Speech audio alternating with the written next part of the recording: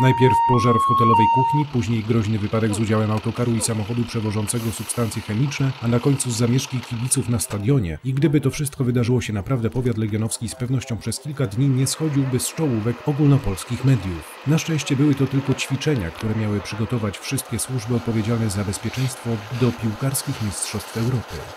Ćwiczenia służą temu, żeby skoordynować przede wszystkim współpracę służb, bo każda ze służb jest przygotowana w swoim zakresie do swojej pracy. Natomiast kiedy pojawia się zdarzenie bardziej złożone, Takich, które wymagają współpracy Straży Pożarnej, Pogotowia Ratunkowego, Policji i jednostek ochrony cywilnej. Scenariusz ćwiczeń został tak przygotowany, aby uwzględnić wszystkie potencjalnie niebezpieczne sytuacje, które mogą spotkać zarówno greckich piłkarzy przebywających na terenie powiatu, jak i kibiców.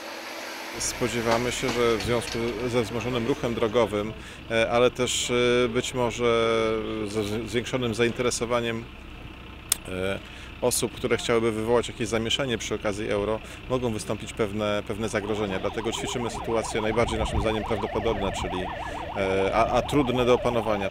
Pierwsza to pożar w hotelu Warszawianka, w którym przebywają reprezentanci Grecji. Druga wypadek autokaru przewożącego piłkarzy, podczas którego dochodzi również do chemicznego skażenia otoczenia. Trzecią symulacją były natomiast zamieszki z udziałem kibiców na Bieliszewskim stadionie. Ranne w nich osoby opatrywano w szpitalu polowym zaaranżowanym w pobliskiej hali sportowej.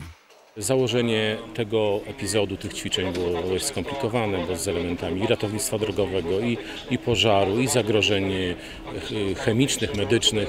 E, Także to jest taki bardzo, bardzo, bardzo skomplikowany scenariusz, który mógłby się wydarzyć w realu, a dzisiaj był przećwiczony przez służby ratownicze. To niby są tylko ćwiczenia, ale tak naprawdę pokazaliśmy, jak szybko i sprawnie rozwinąć szpital polowy.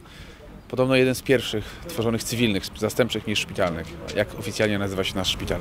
Po zakończonych ćwiczeniach obserwatorzy zgodnie przyznali wszystkim służbom ocenę bardzo dobrą. To pokazuje, że powiat legionowski do największej jak do tej pory imprezy sportowej organizowanej w naszym kraju jest solidnie przygotowany. Nigdy do końca nie przewidzi się sytuacji w 100%. E, Zawsze pozostaje jakiś margines błędu bądź też e, konieczność improwizacji.